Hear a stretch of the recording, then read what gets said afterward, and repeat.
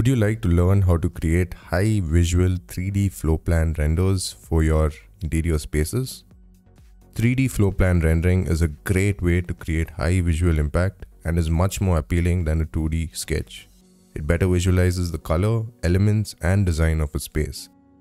In this course, I will take you step by step in modeling and rendering an awesome looking 3D floor plan with SketchUp 2022, V-Ray 5, and Flextools.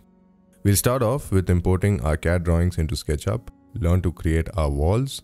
Then we will learn to add doors and windows using this super useful plugin called Flextools create railings, place our furniture, and then we get into the rendering part of the course, wherein we will set the camera, set the lights using a simple lighting system, adjust the materials, and finally batch render out our various scenes of our 3D floor plan.